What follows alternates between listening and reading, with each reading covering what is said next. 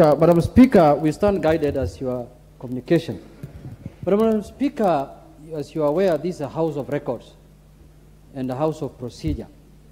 And the last communication that we had from the substantive speaker was that he is going to deliver a ruling on the issue of the majority and minority on Thursday the 6th at 2.30 p.m. It's in the Hansard, Madam Speaker. And the Hansard will bear me witness that the Speaker pronounced himself on the floor of the House that he is going to deliver his ruling at 2.30 p.m. And now it is 2, it is 2 how many? 2.45. It is 2.44 now. We are late by 14 minutes, Madam Speaker. 14 minutes is, we are late.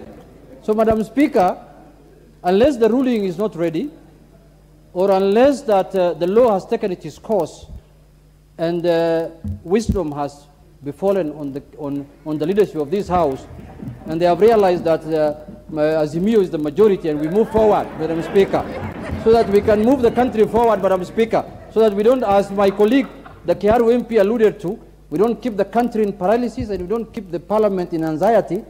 The rule of law is clear, as the lawyers say. The law is very clear. There are many lawyers in this house, some of them senior lawyers. I think Murugara is here. So the lawyers are here. The law is very clear, Madam Speaker. So can we authoritatively say that the decision has been made in silence, that Azimio is the majority party in the House, and we move forward, Madam Speaker, and we conduct business as it is known in the Parliament, Madam Speaker. Honorable uh, Member, Honorable Member, I think you're out of order. You have no power or authority to make a ruling on that point. I think the Honorable Speaker clearly communicated that he shall give his ruling on this session that starts at 2.30 p.m. and ends at 8 p.m. So until such time as we get to 8 p.m., we shall we still have the time.